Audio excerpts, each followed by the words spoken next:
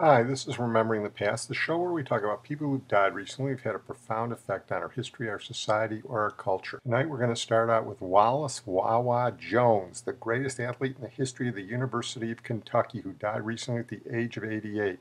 Wah Wah Jones came from eastern Kentucky from Harlan, coal mining country. His parents had a diner where they served the coal miners, and as a boy he was witness to some of the labor trouble between the unions and the company in the 1930s.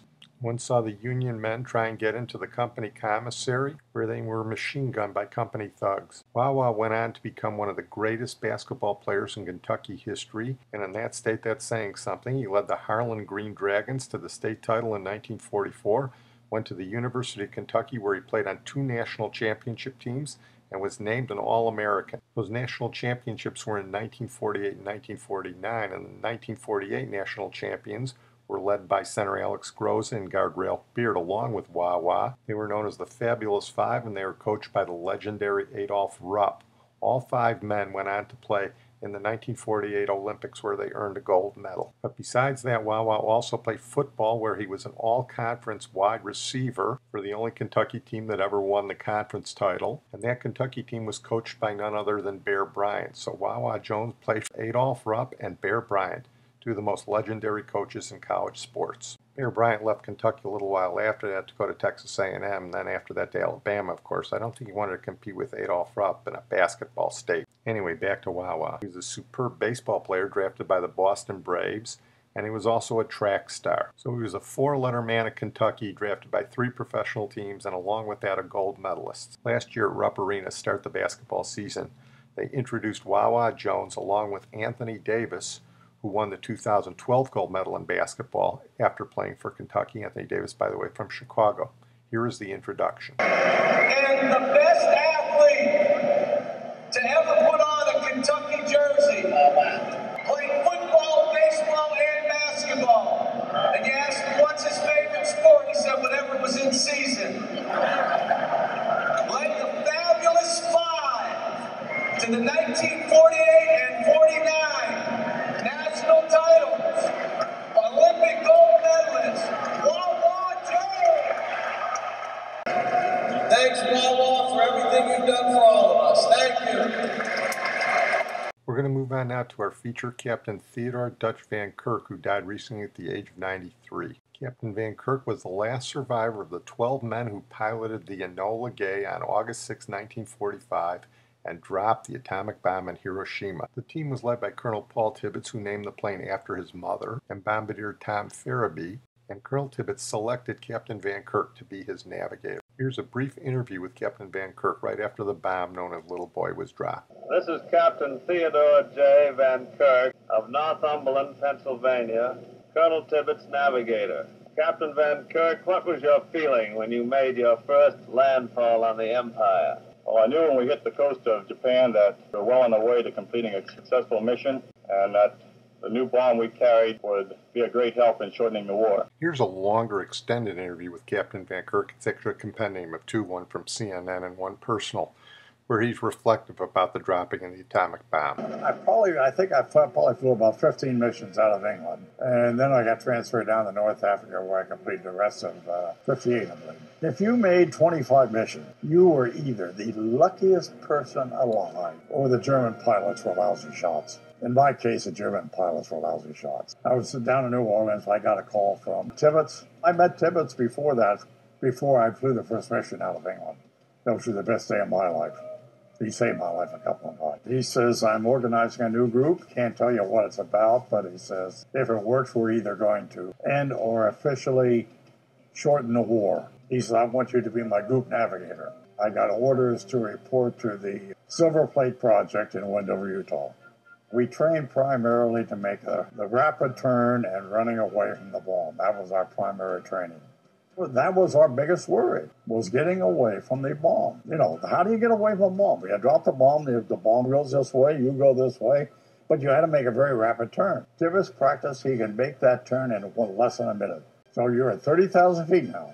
He's in a 30, 60 degree bank, which is a very sharp bank for a B-29 not that allergy. Well, that day wasn't the important day because uh, the, the, drop by 9.15 and 8.15 in the morning, 10 a.m. time, 9.15 10 a.m. time, 8.15 Hiroshima time. So it was all over by then.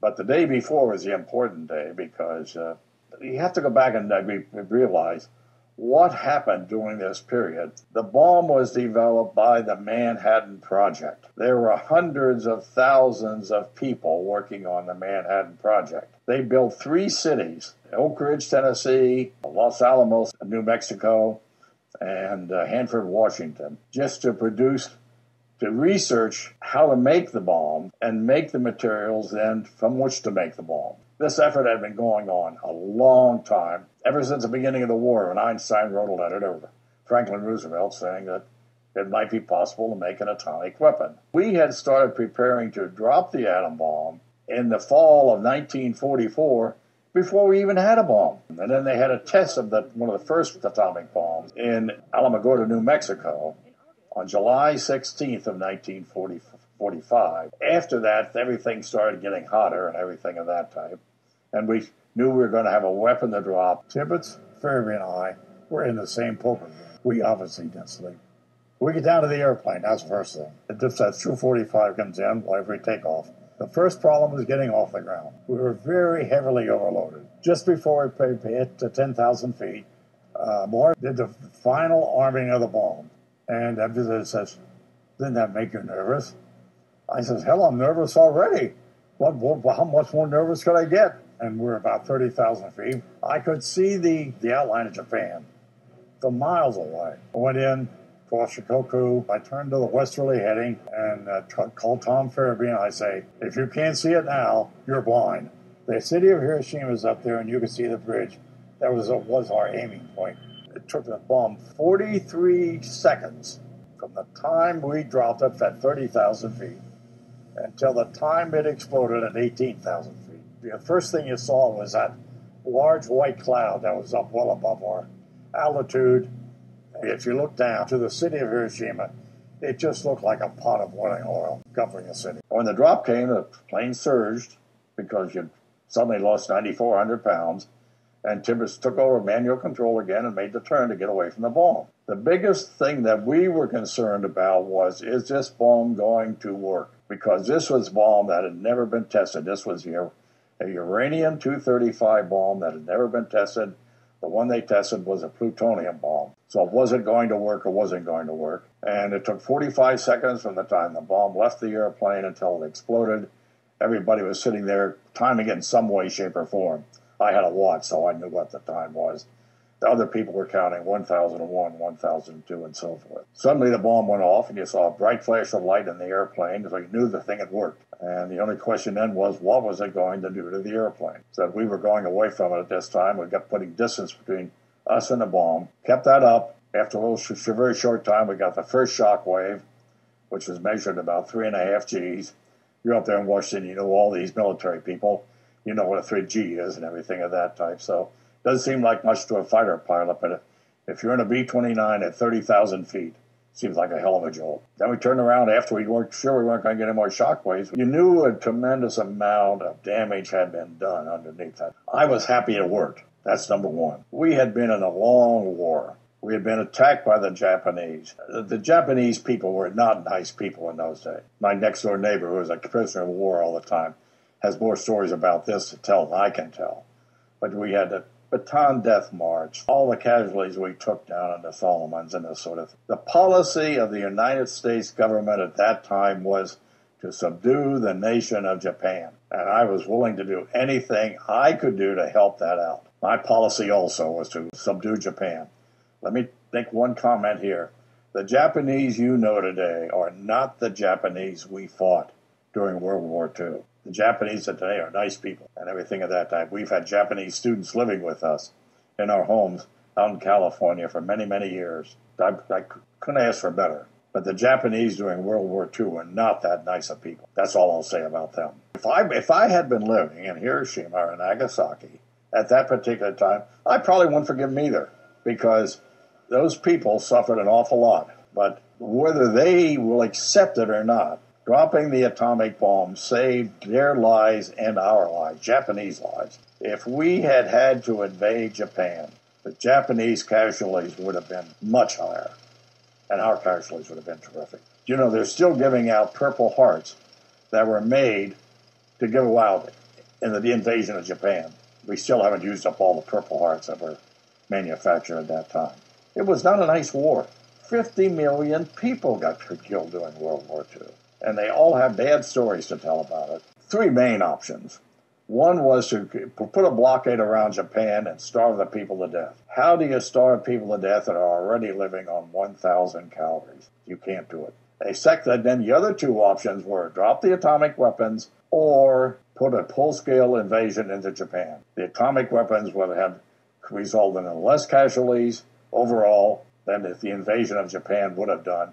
If you ask any GI, ask anybody that was in the service over in over the Pacific, you they they love the atomic bomb. Everybody who's in the Pacific at the time says will come up to me and say, "You saved my life." I regret we ever had to have mission. I regret every mission I had over Europe and everything of that type. I dropped a lot of bombs over there that killed people and probably killed civilians. Do I regret the atomic mission? I regret we had to do it.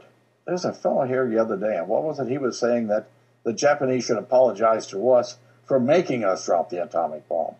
That was a new twist on things I've never heard before. I regret that we had to do it, but I think we had to do it in order to end the war with a minimum loss of life. I, I say to any politician, any diplomat, anybody in any uh, area of authority today, I would like never to see another atomic weapon used, but I'm afraid we're going to if everything was exactly the same as it was then.